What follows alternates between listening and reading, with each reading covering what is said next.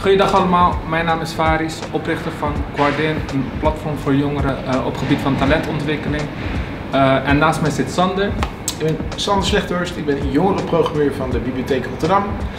En we maken activiteiten voor, door en met jongeren. Achter me zien jullie jongeren die mee hebben gedaan aan ons programma de afgelopen jaren.